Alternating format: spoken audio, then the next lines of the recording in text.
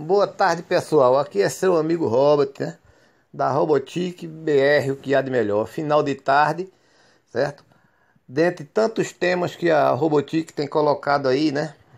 Para tentar, na realidade, esclarecer os mistérios do galismo. Então, eu vi mais uma oportunidade de fazer isso aí para esclarecer. Que a gente escuta tanto, né? Todo mundo é galista, galista para lá, galista para cá. Então a gente fica naquela dúvida de elaborar um conceito real, um conceito único para o que vem a ser galista.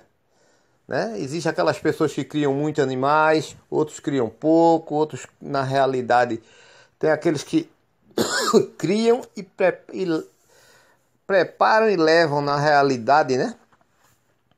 Seus animais para o combate inclusive muitos canais no YouTube, né, nas redes sociais, ensinando como preparar, né, para levar para o combate. E também tem aqueles que se dizem só criador, né, que cria, cria para vender, porque agora tem essa, esse setor dentro do galismo, né, que é o setor de venda de ovos e frangos, né. Então eu perguntaria, quem é que é na realidade o galista? Quem é o verdadeiro galista? O que é realmente ser galista? Viu? Quem gostar, deixa aí um like para ajudar o canal, deixe sua recomendação que é muito importante, entendeu? E que os que não forem inscritos se inscrevam. Mais uma vez, um abraço do seu amigo Robot, certo? E peço a ajuda a vocês de deixar aí o comentário que vai servir para o, eu escolher os temas dos próximos vídeos, viu?